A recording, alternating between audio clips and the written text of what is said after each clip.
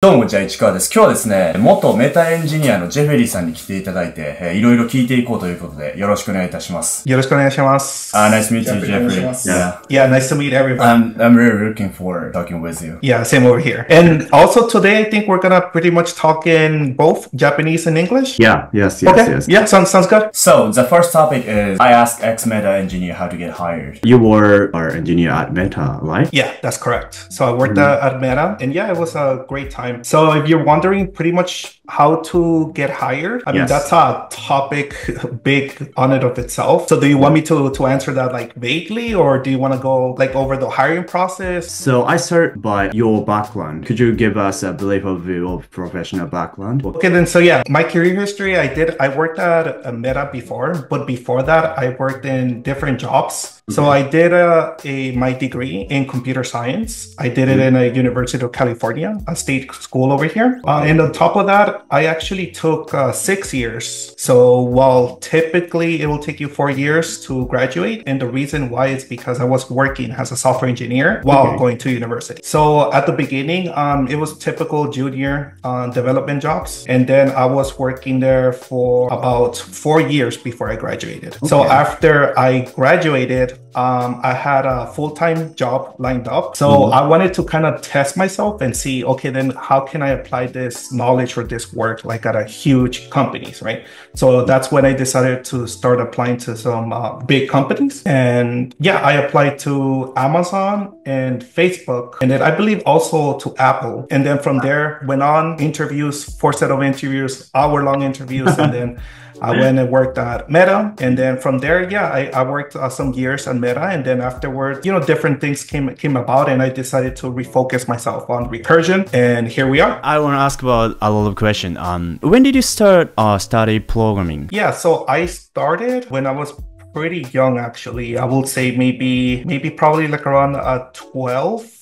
Well. Uh, yeah, twelve, but this is like basic. Uh, computers were starting like your typical desktop computers were you know yeah. hitting everybody's houses and whatnot so that's when i got into you know computers trying to like mess around with them building them so all this interest into computers and software really did begin when i was like a teenager and then from there uh, i tried creating some really simple uh, programs mm-hmm. but it didn't really hit probably until i was like in starting my first year of university that's when i really decided to go you know really deep into you know software engineering. So you majored uh, computer science. When did you get a first time job as a software engineer? Yeah, so uh, my first time was I think after my first year of university. This is kind of like a side note, but by the time I entered university, I was already somewhat uh, fluent in Japanese, um, and because of that, I was also able to kind of get myself in the door with uh, software companies that have relationships with Japanese companies or just Japanese branches in Los Angeles or in California in general. So because of that, I was able to somewhat easily land, uh, software engineers because I was able to kind of communicate in Japanese. And on top of that, I was doing my computer science degree. So that's how it, I started. And I did uh, several different ones. Like we're talking about like in battery companies, different uh, logistics companies. So I worked uh, on these companies um, for about a, a year uh, through five different ones. What did you work on at Meta? Yeah, so that's uh, at Meta. I worked on the infrastructure side of things. So Meta is a huge company. It serves billions and billions of people. You could say potentially even half of the world. so with that, you need a very, very strong system. You need a strong backend. You need multiple data centers. You need like a huge infrastructure. And within that infrastructure, you have a lot of services and you have a lot of uh, systems that always need to be you know up and running. So that was uh, my job in particular was working in the infrastructure side where we handle the building. And again meta has so many applications and the code base as i mentioned earlier like it's huge. So imagine you have this whole huge code base trying to build you know multiple applications out of this. It's really really hard. And it, what makes it really hard is when you have millions of lines of code and you have thousands of engineers constantly pushing up code. How do we you know make sure all the applications that we built correctly sync and deploy, you know, to app stores correctly, right? And they need to be effi- efficient, and it's it's a lot of work that goes into that. So that was uh, my focus uh, going there, and the teams around me were all you know focused on that infrastructure. めちゃめちゃコード、でかいコード触ることになったと思うんですけど、どうやって解決したんで、どうやって慣れたり、こうどうやってできるようになったりしたんですか Yeah. So at the beginning, uh, all engineers, this this is common in many major companies, but you get like a time to onboard to the code base. So you get about potentially a month, two months. Some companies is three months, um, where you solely focus on onboarding to the new you know to, to the code base and to the system to the infrastructure right? So within those three months yeah or two months in my case in this in meta's case it's about a month that you get to to onboard and then you move on to like uh your team. Yeah that's when you you touch everything. You try to deploy like some little tiny stuffs. You you Yeah. contact your your manager and then you say hey i want to try touching this. Am i able to i want to tackle this task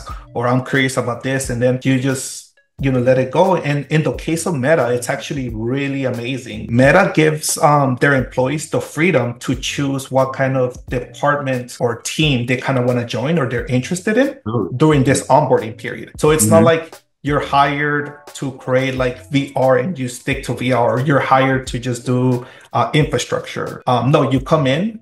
If you come in as a general engineer, you come in and then you look at the system, you look at the services that you have, and then you kind of get to choose a little bit what interests you so much. So to answer your question, that's and it, it is a huge, huge code base. However, uh, Meta's code base. So in a way, n- regardless of what team you go, if you're working like as a backend engineer, for example, you're gonna for the most part use the same technology and tools. これはなんか、1ヶ月でできるようになるもんなんですかオンボーディングの。 Um, so mm, yes and no, it depends. Yeah. Um, well, first of all, when, when you come to um, Meta, they, they do like a box. You know, you have to pass like a lot of uh, interviews. You have to check, hey, is this person history good? Are they able to, you know, are, are do they do they know their stuff, Right? So they trusted you once you come in that you know you're able to be able to onboard to their new systems. And the overall gist, the overall workflow of all the systems, yes, you're gonna be able to, you know, get in there and you know code and deploy stuff within like a month. It's enough time to do that. However, for specific teams and specific uh, code bases,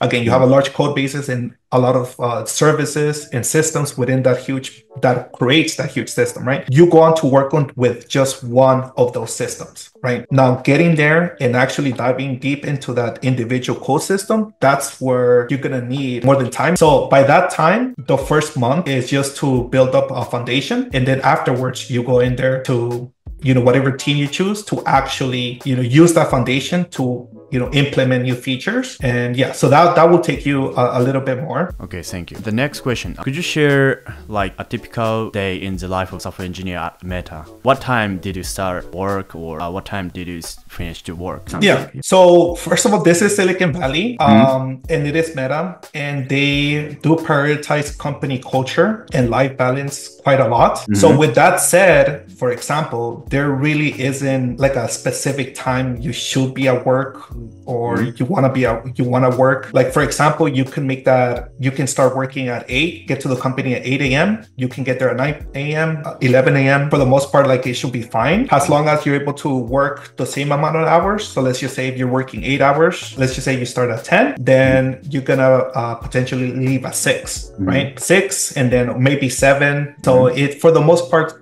getting there it's free. You you get to choose which is a really nice perk but at the same time you know you're still working just uh just as hard uh, as you typically are. On my case um i try to stick to the nine to five uh, kind of uh, schedule uh, and with with an hour break uh, in between. So typically, I will get to work anywhere from eight thirty to maybe ten um, thirty, uh, and then from there, I mean, the, these are the the offices that are huge. They're modern. I would say they're almost like a mini like a mini city in a way. Yeah. Right? So you, you go in there, um, you have uh, individualized desks. Um, on top of that, we, you do have your own computer, your own company computer, and that's where you have uh, your you know your, your your code, your environment environment. And then internally, you also have everything. Uh, you have a lot of perks within the company. Like you have, uh, there's breakfast, there's coffee, uh, a lunch. So you, they can just, if they're hungry, you just go eat and then you can just focus on, on the work. So from there on, you know, eat breakfast, get a coffee, and then get to work, work for about four hours. And then afterwards, you know, go get a get lunch. It, it's really amazing because every Free time they, they have different, yeah, they have different things in the cafeteria. And then afterwards, you go back to your test, maybe work another um, four hours. And then afterwards, you can even have dinner or just go home. So for the most part, life balance is really good uh, at Meta as long as you're able to work when you're supposed to work. 以前 X メタ X Google のエンジニア の人と喋った時に Google と比べた時に、まあ、メタの方がハードやとハードワーカー多いみたいなこと言ってたんですけどここら辺はどうですか肌感覚として Google とメタ比べた時にいわゆるワークライフバランスみたいなところ Um, it again, it depends on what you want to focus on. I said earlier that you do have some people working, you know, 12 hours, hard, Yeah. like coding really a lot. Um, but then again, you also have, uh, it depends on the teams too. But in general, you have a system that's called like levels. So you have E4, E5, E6, E7, and so on. So there's different kinds of levels. Hmm. And for the most part, if you're aiming for like a good work-life balance, you will probably stick to maybe E5. If you're just starting E4 and then you will go to E5 and that's it. If you really wanted life balance, you will stick to E5 and in this scenario, I will say Meta is one out of the GAFA companies is one of the best ones if you want a good life work life balance. However, if you're trying to aim for more money and you're trying to go even the next step, that's when it does. I agree. In, in Meta, it could be pretty hard. Google might be, from what I heard as well. Um, Google in general might be, for the most part, a little bit harder than, than Meta in terms of life balance. But when you're going to the upper levels, yeah, Meta, it's it's pretty rough. There's you have a lot of responsibility. You have uh, a lot of uh, impact you do need to accomplish to really get to those high high levels, like E6, E7, uh, E8. But at the same time, if you're going for these levels, you're gonna have less life balance, but you will be making a lot, a lot more money, especially in stocks, right? In stocks, you're looking at if you're like an E E7, E8 level, you're taking you're looking at half a million dollars extra, like a million dollars if you really, really are in the have a lot of responsibility in your hand. But of course, your life balance, you can probably say goodbye to it. But um, she also said the promoting speed, Meta is more first compared to Google. What do you think about it? Um, so in terms of uh, going up, it's uh, relatively forward, straightforward. You do have to perform well every single um, like yearly basis or semester basis. You're always supposed to, you know, talk with your manager um, if you're looking to you know level up and mm-hmm. get you know even more responsibility and earn more then again you need to go above the expectations and you need to kind of demonstrate that you're able to you know to accomplish you know what that next level requires right? So you need to demonstrate for uh, a certain amount of period of time potentially like half a year a year that you are at the next level or you're performing and creating impact at the next level. Um, so that's if you really want to do that then you're gonna have to you know work extra uh, harder. You're gonna have to create more impact. Sometimes it's almost like you're starting a company within the meta company because you're trying to create a new service or new implementation or new idea that will you know benefit the company hugely however in general for everybody everybody is expected to as time passes by be promoted naturally to the next level. So you start at E4, you know, it might take maybe some two years, three years, four years for you to move to E5. E5 is senior. E5 is more senior, E4 will be more general engineer, E5 more senior, and then E6 will be more like tech lead or more leading a group. Right. So these are the levels. Um, if you're starting, you enter the company E4 with three, four years, you're expected actually, you're expected to move on to E4. If you're not E5 by that time, it's Right. it might be it's a bad thing. It's not a good thing. It's a Yeah, bad yeah. thing. E7 になるには例えばマネージャーというかある程度マネジメント 的な要素が必要なのかそれともこうプロフェッショナルでいけるのかどうかっていうとどうですか both of them. You can get there with uh, both. Generally, by the time you're, let's say, E5 or E6, you could transition to a management position, or uh, you can go on to has like a skill set wise, just create more engineering works and have more responsibility on your hand. Like for example, a new system, a very important new system is gonna uh, appear, and you want to lead that design it and you know yeah so if you want to get at that level certain criteria need to be kind of like met right so in terms of that meta has in has a lot of different ways to go about it and there's different ways to, to get there.